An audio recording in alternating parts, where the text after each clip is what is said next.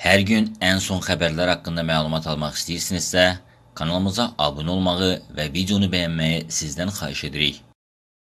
Ukrayna ordusu tərəfindən sıradan çıxarılan Rusiya hərbi texnikasının qiyməti açıqlanıb. Bu barədə Forbes Ukrayna nəşri yazıb. Hesablamalara görə Ukrayna ordusu Rusiyanın ümumilikdə 5 milyard dollarlıq hərbi texnikasını sıradan çıxarıb ümumi itkilərin 47%-i təyyarə və helikopterlərin, 29%-i tankların, 14%-i zirehli döyüş maşınlarının payına düşür.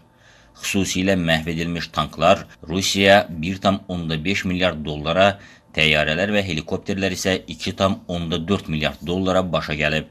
Məlumatda belə deyilir. Rusiya ən böyük itkini fevralın 25-də, ən az itkini isə martın 2-sində verib.